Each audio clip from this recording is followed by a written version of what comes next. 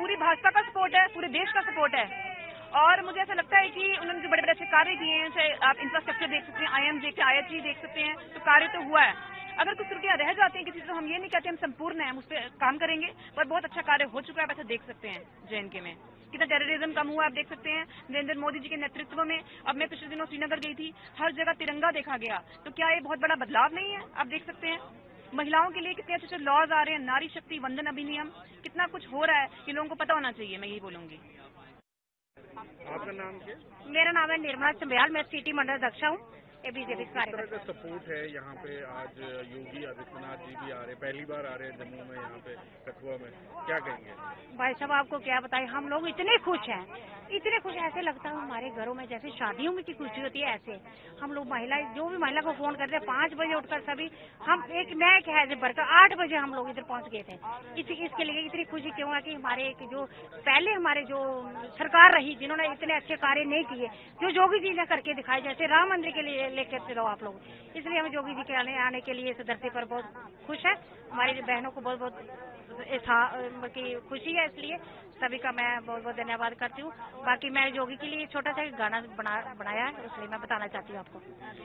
जोगी जी आएँगे।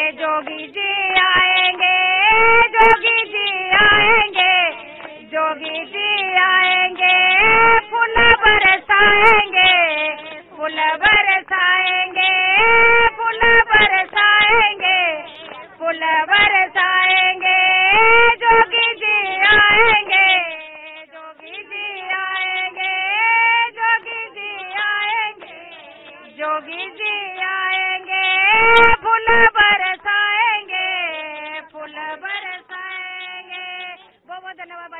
साहब जो ने हमारे महिलाओं के लिए किया है कि जैसे हम लोग पहले बाहर निकलती निकलती तो डरते थे हम लोग। ऐसे अभी कोई भी आदमी, महिलाओं को कोई छेड़ता, उनको सीधा गोली।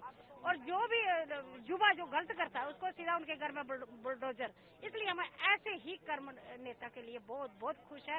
ऐसे ही हमारे महिलाओं के लिए जितना उन्होंने यहाँ आए हैं डॉक्टर जितेंद्र सिंह का सपोर्ट के लिए। क्या कहेंगे कितना डॉक्टर जितेंद्र सिंह का है जीतने का।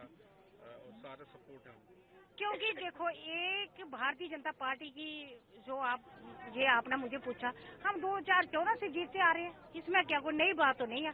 हमने जीत तो है हमारे लिए। हम इसलिए जीत के लिए तो हम पीछे नहीं है। हमने सोचा नहीं कभी हमने हारना है। हम लोग सिर्फ़ जीतने के लिए मुझे सब बहनों को ये था कि हमारी बात भारतीय जनता पार्टी जीतती आई और हम जीतेंगे। नहीं जीतेंगे। किसी लीडर को नहीं पढ़ना पढ़ना मेरा नाम है अमृत सैनी। क्या कहेंगे किस तरह का काम किए हैं? देखो सर। आपको लगता है कि जो डेवलपमेंट का काम किया है डेवलपमेंट तो बहुत हुई है सर।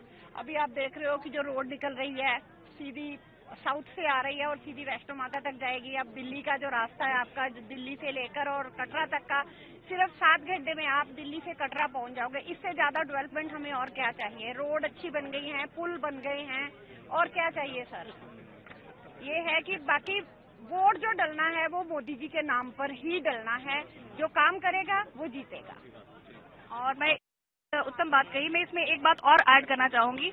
आपने पूछा है कि आपको लगता है कि यहाँ पे आंकड़ा जो है वो किस प्रकार रहेगा? परंतु मैं कहूँगी कि जनता जनार्दन जो है, वह इस वक्त विकसित भारत के ऊपर वोट देगी और वो आपको देखते ही बनेगा।